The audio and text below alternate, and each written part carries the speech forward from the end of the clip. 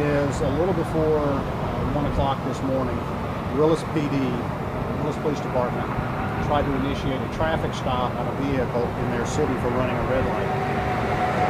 The police officers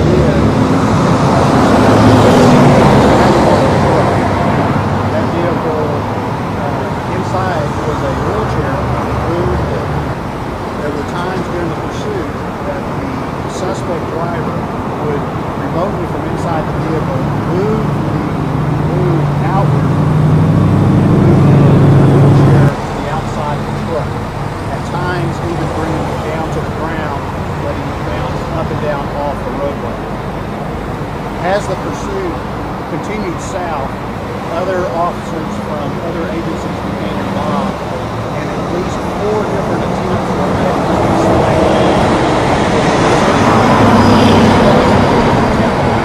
public safety, an attempt by Police Department, and an attempt by Montgomery County Sheriff's Office. Which of these attempts was successful Viking was successful and at least three of the tires became flat. As the vehicle continued southbound, the driver did lose control, bounced off the concrete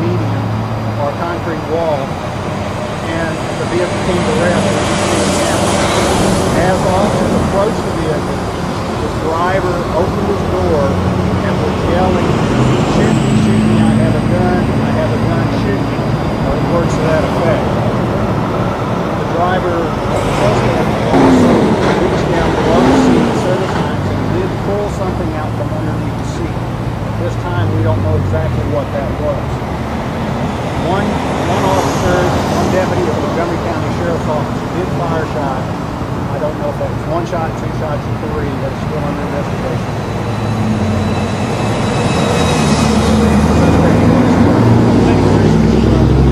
EMS uh, very quickly on the scene after that. Was transported. The suspect was transported to Hospital where he did the investigation is ongoing, cooperatively with the Texas Rangers, the Public Integrity Unit